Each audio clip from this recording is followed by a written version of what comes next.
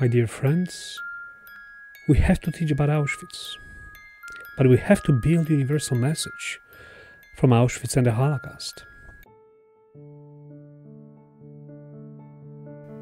My name is Jerzy Wójcik. I've created the Auschwitz Virtual Tour, which is a faithful recreation of the physical visit in Auschwitz.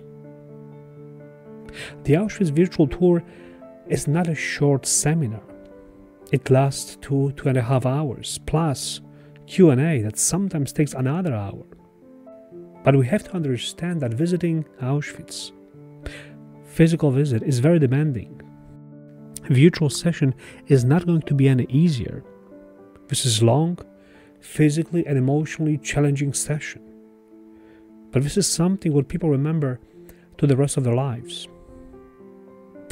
Many people ask me, what sort of materials do I use during such a such a session? I use historical footage, my own pictures and recordings, aerial photographs, and drone recordings, but also virtual reality application created by the Auschwitz Museum. I myself have built a completely new Prezi animated presentation.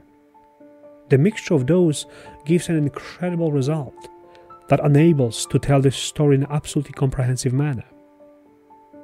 I start with the Google Earth, showing students where Poland, Krakow, and Auschwitz is located, explaining the reason of establishment of the Auschwitz camp in this specific location. I hover with the camera over both camps, explaining two functions of Auschwitz. And then we we dive into reality, or rather a virtual reality of both camps, seeing the buildings, wooden barracks, terrible conditions. I talk about children, political prisoners, uh, Jewish prisoners. And finally, we stop in the middle of Birkenau, starting the most important chapter of the story mass extermination of Jews. I describe every stage of it the arrival of, the, of European Jews to Birkenau, selections, tragic moments of entire Jewish families being separated from each other and we go further. We enter the gas chamber number one that is still standing. We see the we see the ruins of the gas chamber crematorium number two, three, four, and five. And we supplement this experience with 3D model, digital reconstructions, and recordings.